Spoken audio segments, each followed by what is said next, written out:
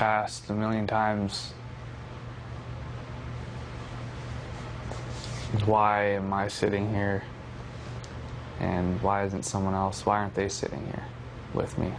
I sunk. I mean, I was still with our vehicles in one of the buggies, and I could hear whoever didn't bring their phone, I could hear phones ringing, knowing that it was their wives, their family. I sunk, sunk into my seat, I sunk into myself. I couldn't think.